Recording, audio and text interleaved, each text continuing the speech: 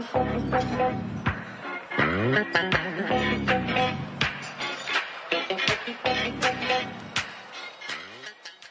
have Miss Francine Brokaw, our very own entertainment correspondent, with us today, and we are talking about Moondoggie. Francine, how are you? I am great, but I, I am, my mind is just being blown. 85 years old this week, or by the time this airs, it'll just, he'll just be a few weeks older than 85, but I can't believe Moondoggie is 85. Wow. It just blows my mind. So crazy. I love it. Well, have you ever met him? Oh yes, I have. We'll get. Let me get into that at the end, but let me just give you a big background because a lot of people may not be as familiar with him. Um, okay, so uh, he was in 1915. He was an actor, but uh, in 1959 he got his big break as Moondoggie in the Gidget movie, and he went on to two more uh, Gidget shows. Uh, but in 1961 he got his really big break in The Guns of Navarone so that showed off his uh, dramatic skills, and he was really proud of doing that. He really mm-hmm. was. Uh, he was in Diamond Head in '62 with Charlton Heston. Mm-hmm. And I mean, he's he's had a long list of credits, yeah. but when you hear the name James Darren, you think of Moondoggie, and he doesn't mind that. You ask him if if he minds being connected. He says no. That made him who he is. So mm-hmm. he's really a down to earth guy. The one movie that he did that in 1963 or 64 called The Lively Set mm-hmm. is one of those teenage, you know. He said one time that he wishes he could go around the world and pluck up every copy and burn them. He just hated that show. Wow. But another one of his good ones is uh, for those who think young, and that is from 64, that just came out this month on Blu ray. So I urge people, it's a fun, surfing type movie. Again, he's not Gidget and not Moondoggie, but it's it's a cute it's a cute show. He went on to television, and this is fun.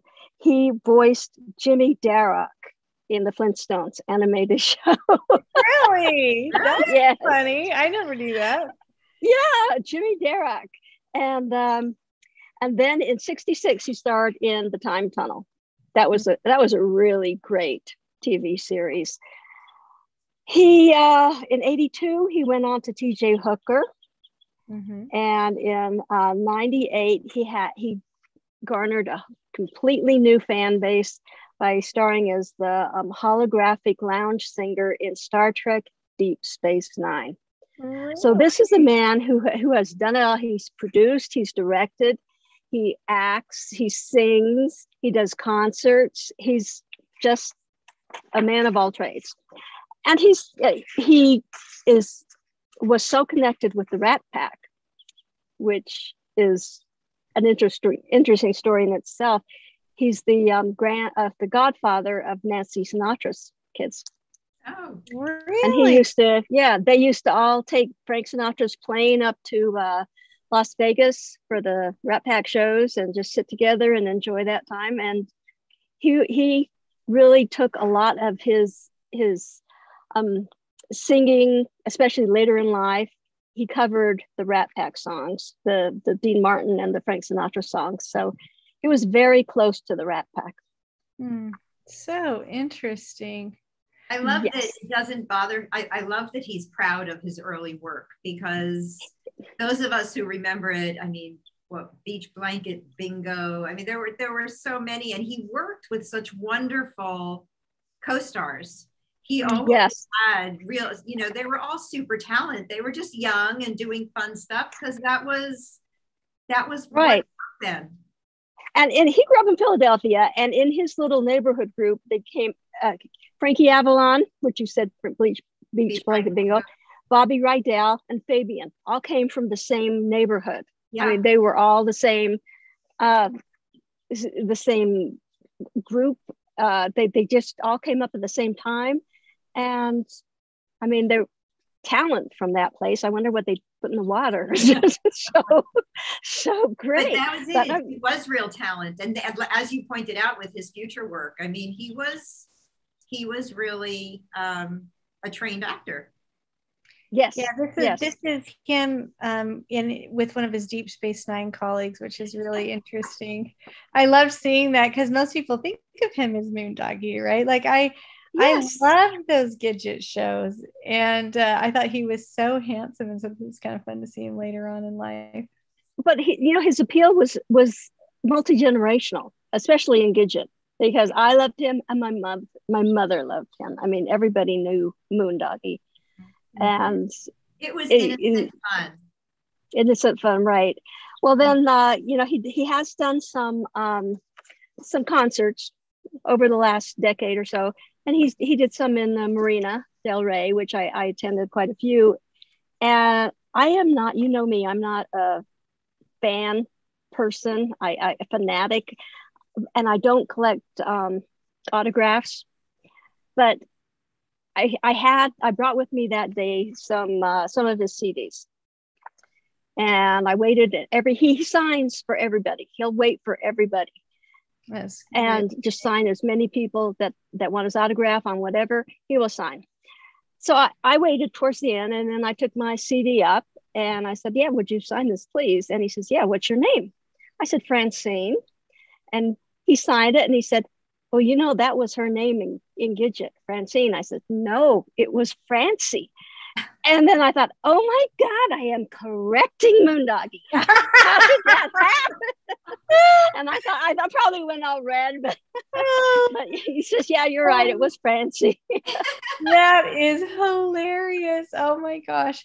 So he's 85. Mm-hmm. He had, I don't know what he did. He did last fall. He did have a bout of COVID, mm. but I know he pulled through and he's got a loyal fan base online. And anybody who wants to know what he's up to, go to jamesdarren.com. Okay.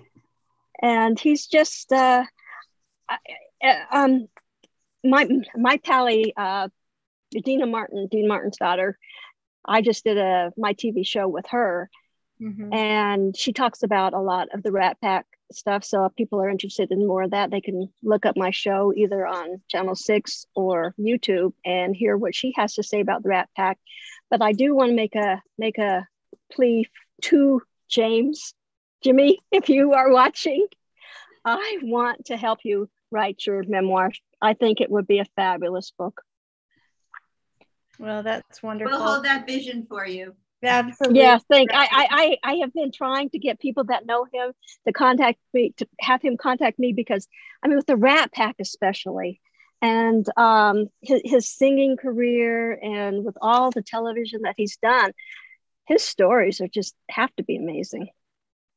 That's super. Just have well, to be. it's amazing. So he, I can't believe that you know coming from a family who made it 55 plus years in show business like i cannot even imagine still performing at age 55 and he actually has an upcoming appearance here if anyone wants to see him at 55 year mission tour august 11th to the 15th in vegas. Wow. And mm. william shatner all of these like amazing amazing people will be there Yes, well, that's why I say he's he he garnered an entire new set of fans yeah. with the Star Trek series. I mean, yeah. that just gave him a completely. He he has also done Star Trek cruises with with those guys, so wow. he is very connected to Star Trek, Deep, Deep Space Nine, and all those characters. But um, like I said, he is, he is best right? known for for Moondoggie, and he will tell you that he does not mind being known as the Moondoggie because without that, he doesn't know where he'd have been anyway. Yeah, so he's really he's a down to earth guy too. That I mean, is really I, awesome. Mm-hmm. I've spoken with him several times, and he's really really cool.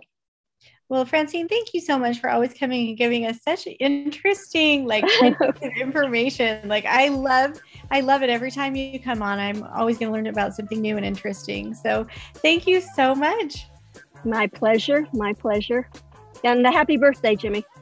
and we'll be right back.